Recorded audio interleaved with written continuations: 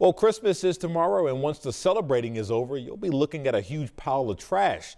The Department of Public Works says they see more illegal dumping during the time of the holidays than the rest of the year. Our Anna Chalker shows you where everything should be thrown away properly. When you're cleaning up after your holiday party, it may seem easier to put everything into one bag and take it to one of these bins that are placed throughout the city. And DPW says this is not the home for every piece of trash and recycling. You know, we're just really trying to focus on making people aware that we have alternative methods of getting rid of your trash. There's proper ways to dispose of it. Please be a good neighbor. Please help out all of our neighborhoods across Indianapolis. That's why DPW encourages everyone to go through their trash before putting it on the curb. They say many people do not realize you can get a fine if you do not throw trash away properly. Things like lights, tinsel, and wrapping paper are not recyclable.